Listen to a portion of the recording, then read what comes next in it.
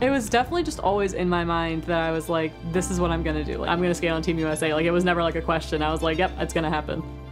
Synchronized skating is like the only thing where it's like its own sport. It's not like the female version of something else. And it's 99.99% female.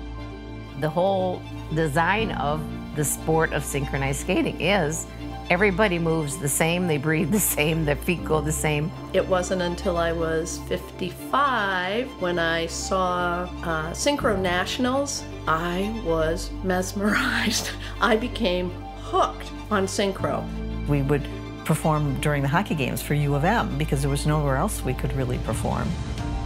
Coaching never came to mind until I saw an opportunity that I might find something that I could do. No one really knows about it, but no one really knows about it because no one broadcasts it. Like it's not on TV.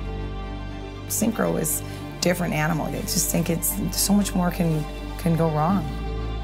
16 at one time. Perfect. What comes first, the chicken or the egg? So, do you become an Olympic sport and then you start training like an Olympian? Or do you train like an Olympian and then become an Olympic sport? Our, our life is what's next? What can we do next? Not what, what did we do?